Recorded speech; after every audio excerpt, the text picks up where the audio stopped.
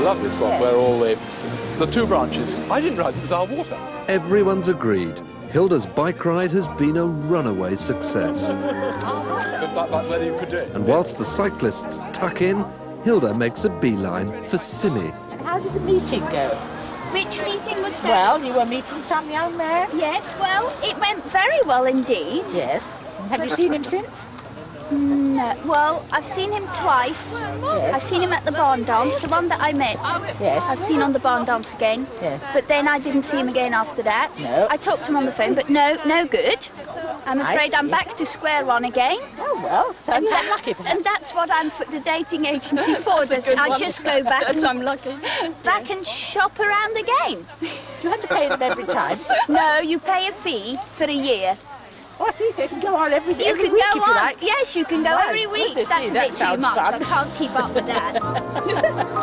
Quite interesting. I've met I've met eight eight people so far. I've had eight dates, but in quite a long time. This is a tale. I know I've had disappointments. I know it hasn't worked, and I've been really excited about it and thought it would work, but I come very quickly, I bounce back and feel again every time there's a new chance again. It wasn't right, off I go, do it again. How do you feel now, though? You, you've had a few letdowns, haven't you? I feel different about every time I learn something. I feel it's a lesson I've learned. Every time I learn, I really do feel I grow very quickly in, in learning what I must do.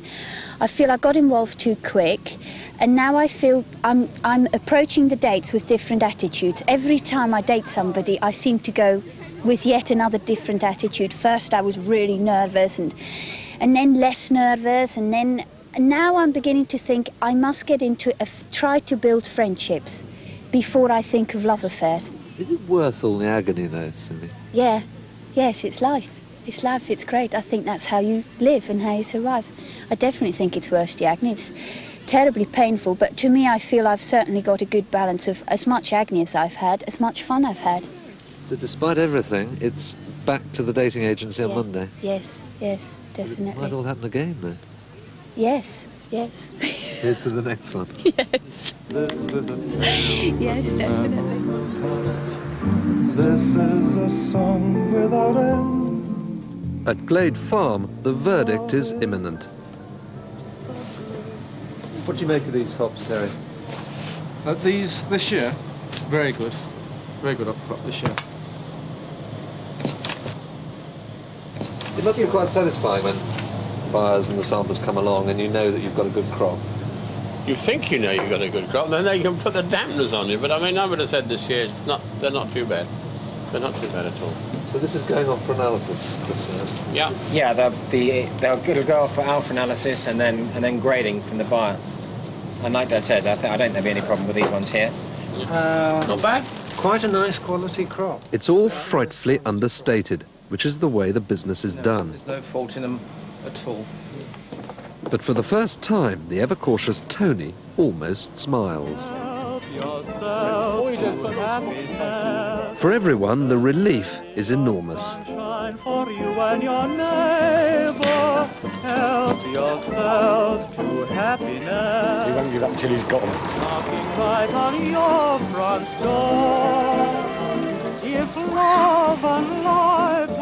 Now it's time to start thinking of the future. So this is about Brian's girlfriend. Oh well. Oh, it's uh, he's courting at the moment. Is he? Yes. Caught and strong.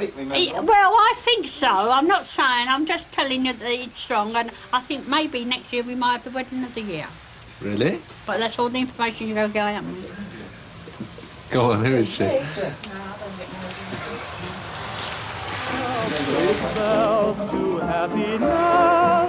In fact, everybody's life is about to change. See they started the bypass this week, Terry? Yeah.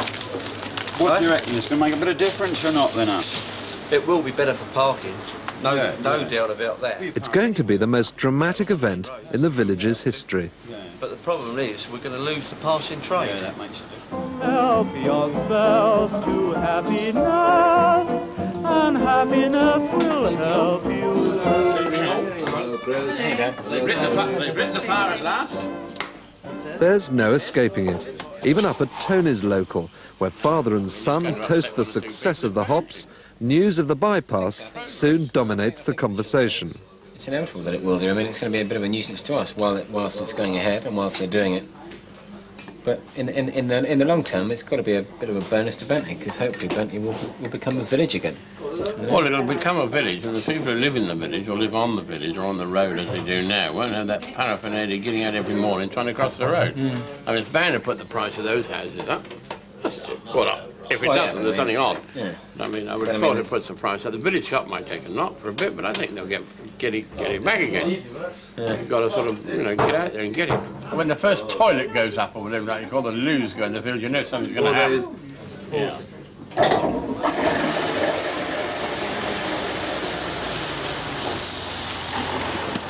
And sure enough, alongside the loo, the first of the contractor's offices has arrived. It's not surprising some of the villagers were sceptical. There's been talk of a bypass here since the war.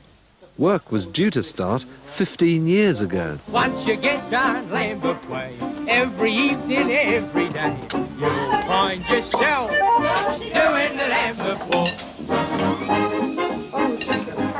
In the hop pickers' ramshackled huts, it's party time. The long weeks of hard work are over. Oh, look, under the lamp light, look. All right, over there, dear.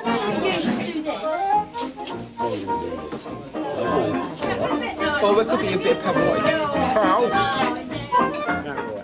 Brian's still suffering endless jokes about his love life. Ada's still dreaming of a home in the village. It's a pipe dream, of course.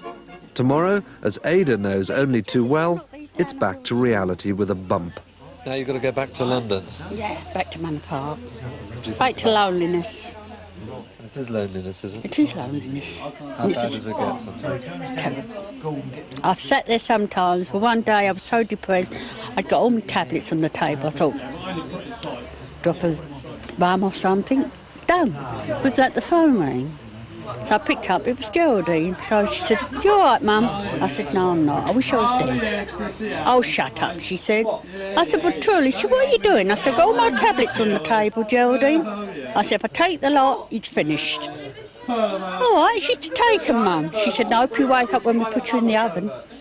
And she spit the life out of me. And I thought, Oh, pull yourself together. But I do, I do get morbid. Loneliness is terrible. It's a killer. It is. When will you start thinking about coming next year? When I go home. I do, honestly, Nigel. It's amazing. You go there, you're unpacking, you think, oh, I remember the time I did this to Roy, or Roy come in, we had laughs about it, you know, and you think of the people, wondering what's happening to them. So this really is a highlight of your year. It is. I think I'd die if I couldn't come. And I keep thinking, please God, though I've got this arthritis, I'm hoping to God it doesn't get no worse. And at least I can come. I mean, I can use my hands, Nigel, just to come hopping, just to mix with people like this. It's wonderful. It really is. Once you get down Way, every evening, every day, you'll find yourself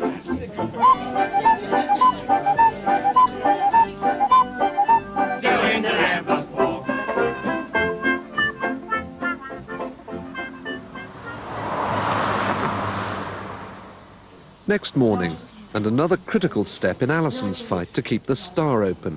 She's due in court to appear before the licensing magistrates. It's just like being in court for something you've done something wrong. It's absolutely horrific. It really is frightening. Um, they'll ask me complete licensing laws, and I don't really know what else they'll ask me. So you actually have to stand in the witness box, do you? Yes. Do you mind doing that? Uh, yes. you have to swear on the Bible and everything. So be like this. At, uh, normally you have your partner with you, but I'm on my own. So yeah, I've got loads of friends coming in to make sure the pub's open on time, and And my son comes in to make sure it closes on time. yes, So you're a bit, uh, bit on edge. yes. Uh, bit's not the word. I've been up since about six this morning, dreading it. An absolute nightmare. And like I said last night, I was in tears. I just thought, oh, why am I doing this? I could have such an easy life, be, just be a barmaid for the rest of my life and get paid at the end of the week. What happens if they say no to the licence? I have to move out of here today. Today? Today. Instant dismissal. So I'll have to move out of here. I lose my job, my home. So So it really is a big day. it's a hell of a big day.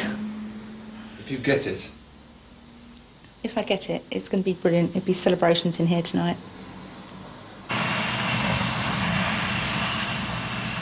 Just down the road, Hilda and Margaret, as ever, are keeping a keen eye on developments. Yes, I said I wouldn't believe it till it started, and now we can. Gosh, isn't it going to make a difference then? Make a tremendous difference. And also walking down to the shop, those big lorries are so dangerous. Yes, I'm quite frightened, and people like Mm. Mrs. Silver Yes. yes. nearly get blown over. Yes. It's very Well, exciting yeah. to think they've actually started. Well, McAlpine Mines are a good firm, I think. Hope so, anyway. As long as they don't move that tree. I don't think they will. At the Star, it's beginning to look like Alison's going to be late for her appearance in court. But he's not turned up yet, so I better give him a ring, see if he's forgot. Because it won't be a good impression, will it, It if you won't. arrive late? It won't. No. I wanted to be there. Ah. Aha. He's just pulled up outside. Cool. Close So- for. We're off.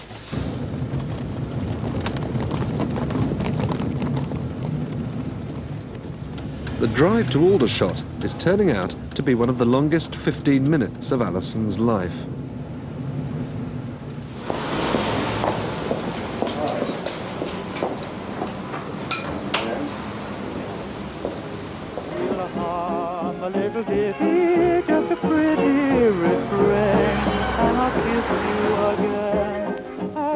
In the village, mounting interest in his love life has made Brian decide to talk about the rumours for the first time.